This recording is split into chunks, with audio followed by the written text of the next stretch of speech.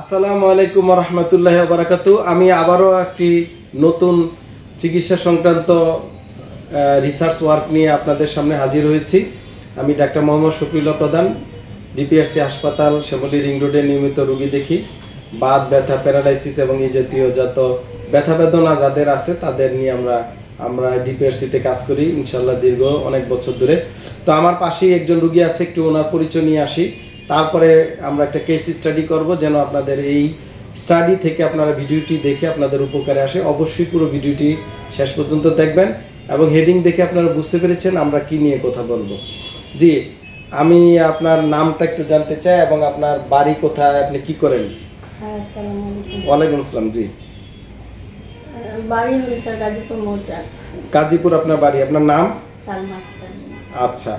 তো আপনার মানে ফ্যামিলিতে কয়জন লোক আছে? মানে আপনার কয়জন ফ্যামিলির সদস্য? আপনারা একটু জানতে চাই, কি জন্য? মানে এই জিনিসগুলো আমাদের রুগীদের বা চিকিৎসায় মানে রুগীদের অন্যান্য দরে হয়তো এই জাতীয় সমস্যা আছে, যে আপনার কেমন কীভাবে রোগটা হলো, কীভাবে আপনি এখন ইমপ্রুভ হয়েছে বা হয় নাই, এটা একটু জানলে বাকিদের। আপনার বাসায় কে কে আছেন?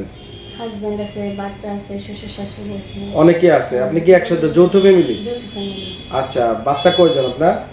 দুজন। এদের বয়স কেমন? একজনের তেরো আর একজনের সাত। আচ্ছা তো আপনি কি সমস্যায় ভুগতেছিলেন? আমাদের এখানে এই ডিপিআরসিতে ভর্তি হওয়ার আগে যখন আমাদের কাছে আসছেন আপনি আমার আমাকে আমাকে বলেছেন যে আপনার ঘাড় ব্যথা এবং হাতের দিকে ব্যথা ডান হাতের দিকে ব্যথা কি হয় জিজি করতো শিনশিন করতো এই জাতীয় নাকি? প্রচুর ব্যথা ছিল স্যার। আচ্ছা ডান হাতের দিকে ব্যথা হতো। এই যে ব্যথা ঘাড় ব্যথা এটা কতদিন আপনার? কতদিন ছিল আগে? কত বছর? এখন তো তিন মাস ধরে ছিল এখন সুস্থ। না সেটা তো আজকে সুস্থ। কিন্তু তিন মাস ধরে আপনি এটা ভুগতেছিলেন? হ্যাঁ স্যার। আচ্ছা তো আপনি বাড়িতে কি করেন? আপনার কাজ কি? রান্না বান্না ঘরের কাজ। রান্না বান্না করেন? এটা তো সব মহিলাই করে। আর কি করেন আর কিছু করে না ঘরের কাজ করি যা করা লাগে। ঘরের সব কাজই আপনি করেন? হ্যাঁ। কাজের লোক নাই? না। এই যে মানে শ্বশুর শাশুড়ি? না তারা তো শাশুড়ি করে কাজ আমিও করি। সবই করেন মানে যৌথ ফ্যামিলি তো তো তো অনেক কাজই করতো। আর বউ আছে? শ্বশুর শাশুড়ির আর কোনো বউ আছে? মানে অন্য ছেলের বউ না। আপনি একাই সব? জি। তাহলে সালমা আক্তারের সব দায়িত্ব কিন্তু ওনাকে পালন করতে আবার বাচ্চাদের দায়িত্ব আছে। এমনি কোনো গৃহস্থলী কাজ করতে হয় যেমন ধান নেওয়া বা অন্যান্য সেলাইয়ের কাজ বা আছে না অনেকের কাজ পারিবারিক আমার মা কিন্তু সব কাজ করতো। কারণ ওনাকে ধান দেওয়া ওই যে কৃষি কাজ কৃষির বিভিন্ন কাজ আছে না এগুলা করতে হইতো। এই যে তো কোনো কাজ করতে হয়েছে আপনার? না স্যার আগে সেলাই কাজ করতাম এখন করি না। ও আগে সেলাই কাজও করতেন? আচ্ছা তিন মাস ধরেই ব্যথা এর আগে কি ব্যথা ছিল নাকি না?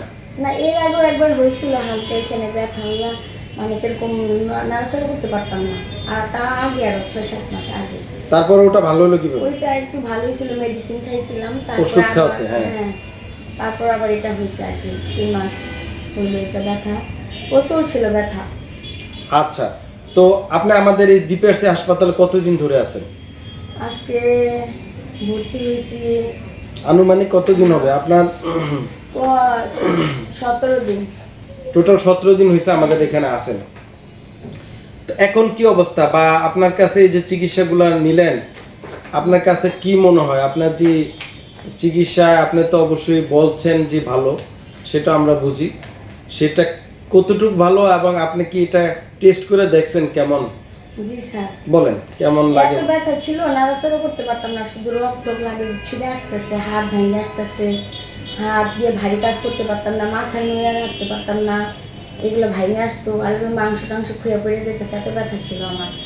এখন তো এগুলো নাই এখন এগুলো মানে পুরাই সেরে গেছে। আপনি কি আগে যখন বাড়িতে এরকম হইতো কি কাজ করলে বাড়তো?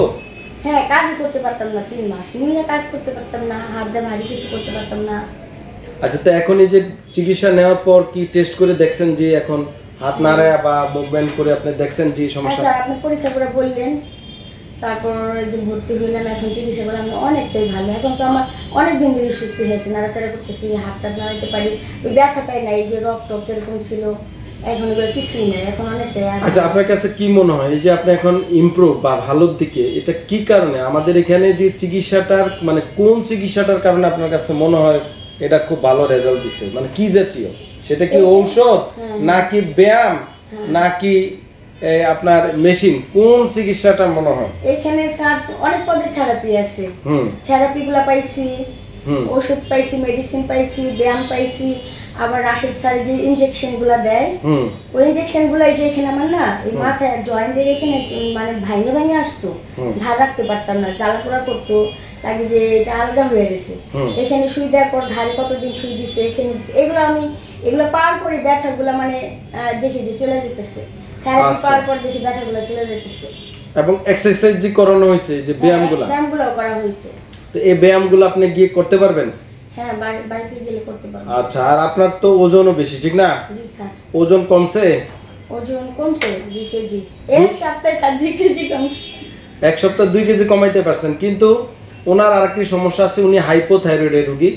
যাদের হরমোনাল সমস্যা থাকে তাদের ওজন সহজে কমতে চায় না কিন্তু তারপরে উনি কিন্তু দুই কেজি ওজন কমিয়ে ফেলছে। এইটার কারণ হচ্ছে ওনাকে আমরা যে এখানে খাবারের যে নির্দেশনা দিয়েছি, এটার কারণে। তবে উনি যদি কন্টিনিউ করে এভাবে, প্রতি সপ্তাহে দুই কেজি কমলে ইনশাল্লাহ দুই তিন মাসের মধ্যে ওনার ওজন অনেক কমে আসবে। তো এটা কি করবেন নাকি গিয়ে আবার খাওয়া শুরু করে দিবেন? নাকি বাসায় গেলে যে হিংসায় খান? না না না? স্যার আমার থাইরয়েড অনেক বাইরে গেছিল। তার। ওজন না এক সপ্তাহে। তারপরে এক সপ্তাহ আবার পরীক্ষা করে দেখলাম একটু কমছে থাইরয়েড এখন মানে এই ডায়েটটা কাজে লাগছে। হ্যাঁ ডায়েটটা কাজে লাগতেছে ঠিক না? তো ঠিক আছে ওই ওই থাইরয়েডের ওষুধও কিন্তু আপনাকে খেয়ে যেতে হবে। হ্যাঁ আর বাড়িতে গিয়ে কিন্তু আবার ওই যে অন্যে খায় আমি খাব না কেন? এরকম হিংসা একটা হয় না মাঝে মাঝে? তো এই হিংসা আমি কিন্তু করা যাবে না। এটা কিন্তু অনেকের হয়। দর্শক আমারও হয় যে আপনি একটা বিয়ে বাড়িতে গেলেন একটা দাওয়াতে গেলেন একটা কোনো কমিউনিটি সেন্টার বা যে কোনো গেট টুগেদারে গেলেন সেখানে আপনার বন্ধু খাচ্ছে আপনার অমুকে খাচ্ছে তমুকে খাচ্ছে বা দেখলে খাবার খাওয়ার আমাদের একটা টেন্ডেন্সি আসতে পারে। সো এখান থেকে কিন্তু বের হয়ে আসতে হবে। এবং এই সালমা আক্তারও কিন্তু আশা করি বের হয়ে আসবে। না হলে কিন্তু আবার গাড়ের ব্যথা শুরু হবে বুঝে গেছে কথা? এখন তো স্যার আবার ব্যথা হইলে পরে আসবে। এখন তো অনেকটা আরামে আছি আমি ভালো আছি। না আবার ব্যথা বারবার এত চিকিৎসা আমরা দিতে পারব না কারণ আরও তো রুগী আছে আমাদের। হ্যাঁ। তো আপনাকে আমি বলব যে ব্যায়ামগুলা শিখিয়েছি ব্যায়াম মান করতে হবে নিয়মিত। আর আমরা এই যে আপনাকে কিছু কাগজপত্র দিছিলাম এই যে দেহা ভঙ্গির এটা তো পাইছেন? এগুলা মানতে হবে ওজন কমাইতে হবে আমরা যে চিকিৎসার নিয়ম কানুন বলে দিই এগুলা মেনে চলতে হবে আর প্রতি এক মাস পর পর আমাদের এখানে এসে কি করতে গো? দেখিয়ে যেতে হবে। মনে থাকব?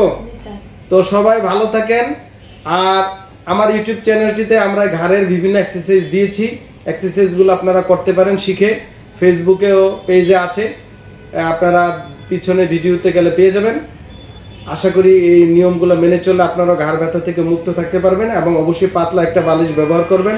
আর সর্বোপরি ওজন নিয়ন্ত্রণে রাখতে হবে। যার ওজন কম, তাকে ওজন বাড়াতে হবে। যার ওজন বেশি, তাকে ওজন কমাতে হবে। সবাই ভালো থাকেন, আমাদের জন্য দোয়া করবেন। আমার রুগীর জন্য দোয়া করবেন। আসসালামু আলাইকুম রহমতুল্লাহ বারকাতু আমাদের নতুন নতুন নিউজগুলো প্রতিনিয়ত আপডেট পেতে আমাদের ইউটিউব চ্যানেলটি সাবস্ক্রাইব করুন এবং ডান পাশের বেল বাটনটি চাপুন। ভালো লেগে থাকলে আপনাদের সোশ্যাল মিডিয়ায় তা শেয়ার করুন।